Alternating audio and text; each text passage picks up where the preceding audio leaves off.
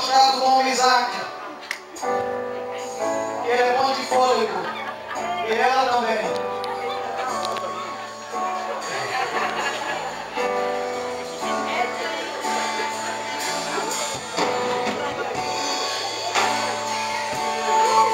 Você pode beijar.